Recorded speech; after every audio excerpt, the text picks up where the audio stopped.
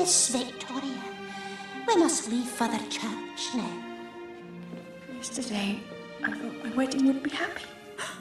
Now I feel like I'm caught in the tide, pulled out to sea. The sea leads to many places, dearie. Maybe you'll land somewhere better.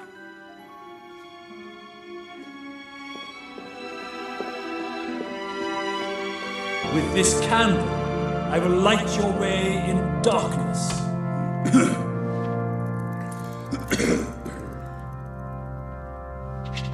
With this ring, I ask you to be mine. I now pronounce you man and wife.